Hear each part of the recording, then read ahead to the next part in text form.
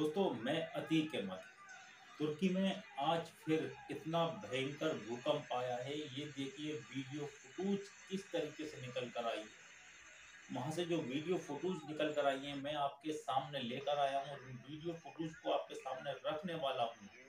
दोस्तों, इन video footage को देखिए और इन वीडियो फुटेज को देखने के बाद में आप अंदाज़ा लगा सकते हैं कि वहाँ पर भूकंप के ज़रिए से किस तरीके से भारी तबाही हुई है।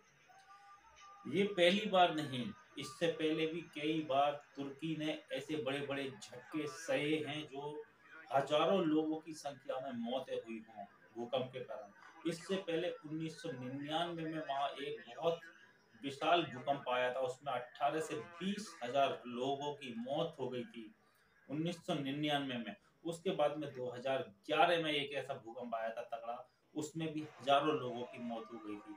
अब उसके बाद में दोस्तों, आज यानी कि 2023 में इतना ज़बरदस्त भूकंप, आप देख सकते हैं कि वीडियोस में किस तरीके से तबाही हो रही है कि लोग घरों के बजाय दोस्तों सड़कों पर डेरा डाल रहे हैं, अपने बच्चों को सड़कों पर सोने के लिए मजबूर हैं।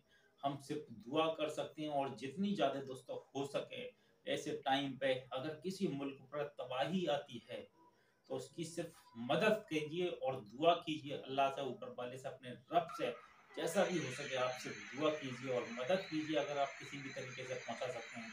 क्योंकि तो ऐसे हालत में दोस्तों मदद की ज़रूरत होती है। आप देखिए वीडियो फुटूज किस तरीके से वहाँ तबाही मची हुई है।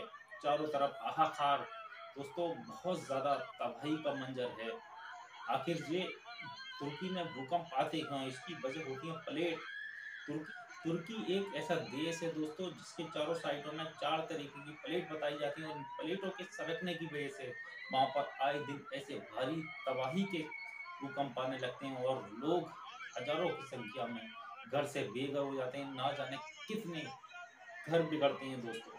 आप सिर्फ़ वीडियो फ़ोटोज़ हम और आप दोस्तों सिर्फ़ अंदाज़ा लगा सकते हैं। बाकी इनके ऊपर तुर्की वालों के ऊपर जो बीत रही होगी, बाकी महसूस तो सिर्फ़ वही कर रहे होंगे दोस्तों। क्या गुजर रही होगी?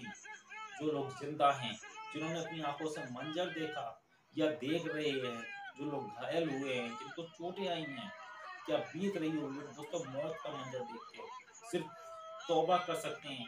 हम अपने गुनाहों की माफ़ी मांग सकते हैं और इनके हक में जितनी दुआ हो सके, इनके ऊपर से जो, ये जो भूकंप के झटके आ रहे हैं, ये ख़त्म हो और दोस्तों, सब सही, सलामत, अच्छी तरीके से जितनी भी हो सके मदद करने की कोशिश कीजिए, वीडियो को ज़्यादा से शेयर कीजिए।